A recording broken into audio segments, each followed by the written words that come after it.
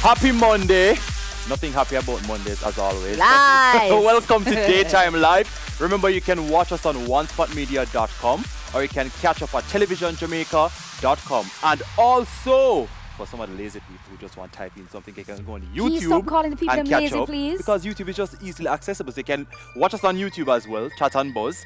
And also remember to use hashtag TVJDTL to join in on the conversation and follow us on Instagram and Twitter at TVJ underscore daytime live so you can win some prizes. I don't know if you're seeing so some really, really good prizes we are giving. Last week some people win spa Yes. and all sorts of fabulous Day Spa. So Adam and Eve. Day Spa, yes. Adam and Eve Day Spa, yes. But you know, before we divulge into chat and all the excitement that we have planned, we have to talk about what's buzzing. And buzzing, buzzing, buzzing, toll road again. I don't know what's going on there, but I feel like this is our third time talking about a hike Yeah. um, where the toll road is concerned. So come July 1st, the Portmore Toll Road, Spanish Town Vineyards, and May Pen leg of, high, of the highway will be facing a 10% increase. Now, this means that the Class 1 vehicles will have to now pay $220 at Portmore, 160 at Spanish Town, and 440 at, $440 at Vineyards, and 360 at the May Pen Lake. I don't know why every time this has to happen, but it's not a good look. They'd have to pay it back to China. I, I know it, I know, I know we have to do that, but I mean it's it's burdening. Um, it's kind of sad that every time you hear about the toll road, this has to do with the hike, and then sometimes even I use the Ochi one sometimes, and Yes. road are broke when I still have pay money. 2000 something So, to go to Ochi and It's come not, back. it's not No. a good look, so you have to ensure that these things there's some benefit to it when you're raising. I don't know what benefit is there though, but as I just have to pay back China. So, I know, the so I think that's the only thing that's there. And I mean, the persons will be facing it mainly. The, um, truck drivers, trailer drivers, because you know the money they hire already. Yeah. So it's like some $670 and $1,210. So Yeah. We kind of But you have a lot of people as well that's taking taxi to Portmore. You know, the, the, the route taxi thing. That's a lot of money. They have to. We need to stop. Me and the government. Me and the conversation. I'm like, we need to stop it because it's it's a lot. You know what I'm Yeah. saying? But um, like I said, I guess today um, with with Buzz, the whole thing about the church and the the conversation about marriage Yeah. and how do you establish um, rape in a marriage Because that's an ongoing discussion. because it's that's been an ongoing yeah discussion. and that's upsetting me too i mean ah, guys i am a little bit disheartened by the whole conversation to be honest because i believe um, philippa davis was um, they had a parliamentary Yeah, the parliamentary- yeah, committee yeah.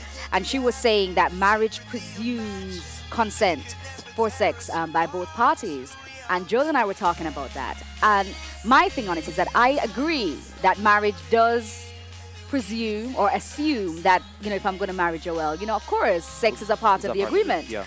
Um, however, she's saying, how do you denote that you've withdrawn consent? Just you know? to, just to add a little background to it as well, you have six church groups. You're talking about six church groups and a lobby group who came out against it. They were basically saying, don't trouble marriage with tougher rape laws because, as you mentioned, um, Philippa presented in front of the parliamentary Mm. committee that's reviewing the sexual um, sexual offences act Yeah. because that's that's been going on for a little while as well.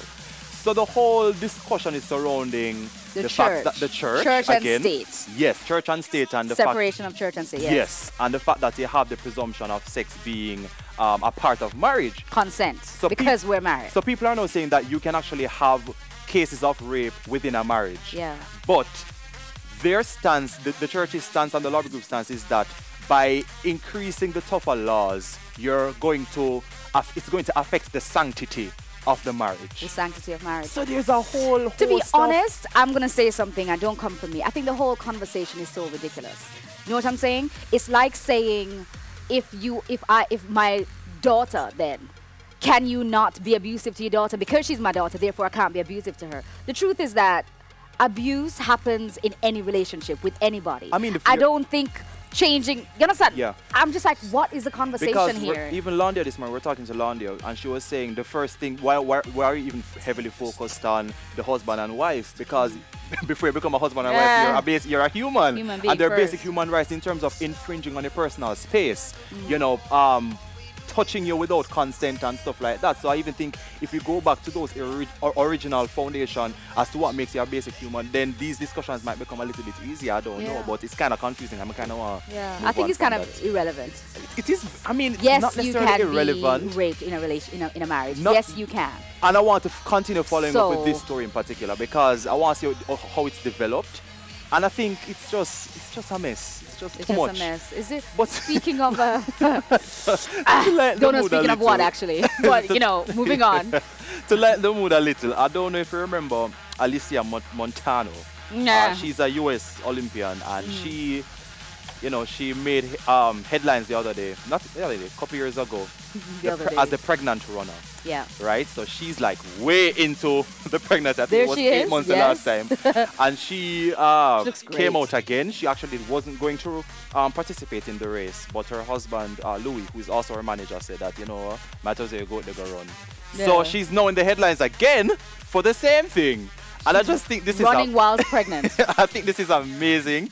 I think it's tremendous. Um, I'm happy that she's a black woman. Why? She looks like a black. Yeah, she's a black. Why are you happy she's a black woman? Because it just, you know, go. It, it, it reminds me of um, the whole Serena Williams uh, discussion the other day about competing while pregnant. I don't know if you remember that. I do remember that. Mm-hmm. yeah. so, so it reminded me of that. But I think that was just a nice story too. It's nice. I think it's wonderful that she's, you know, whilst you're pregnant, Yeah. it's not an illness. It's, you know, you're pregnant. so keep doing what you're doing until you can't do it anymore. But also speaking of running, I don't know if you saw the video with the lady doing the high jump, not running, but high jump on the wig flew. But I don't think we'll have the video for that one. Luckily. So, anyway, Joe, what have you been doing? Uh, Uh, what have you been up to? I mean, we This first, weekend. Yes, so like last week we had the RJR Gleaner. Client appreciation So we had that last week, which was fun. Was really, really nice and relaxed and all of that. So that was really what um, was excited last week for me. For the weekend, I mean, as usually, I chill with my friends. Yeah. Um, go on the road or whatever. Yeah. So it's you know. Relaxing ask me why I can't lift my But what did you do? Because I Ask saw. me why I can't lift my hand, Joel. I Ask saw me. Ask me. I know, I know you can't lift it because you go take on last week Friday. You took on The 60, 60 days day challenge. challenge. Hashtag 60 I heard we had challenge. a video, you know. You have a video of I me heard. crying? Oh, I Lord. heard. I don't know if we have it. Um, Odessa. Can we She pull has it up, it. please, oh and embarrass God! her? Oh, no, don't laugh off of me. Why? Why are you doing that? Where's the video? She is. That's me in the hat. You see it? Oh, we don't have the audio because she is shouting. She's a beast. Look at that. Oh my gosh! Well, you were definitely damaged. what you didn't hear was like, Nisha, down, Nisha, lower. I was like, Well, nothing more to say than you got Dude. what you deserve. Hashtag somebody. But we have so much. 2018. we have so much more to Yes. talk about. Daytime chat, introducing your partner to your family. You don't want to miss out on that one. We will be right back. Yes. I know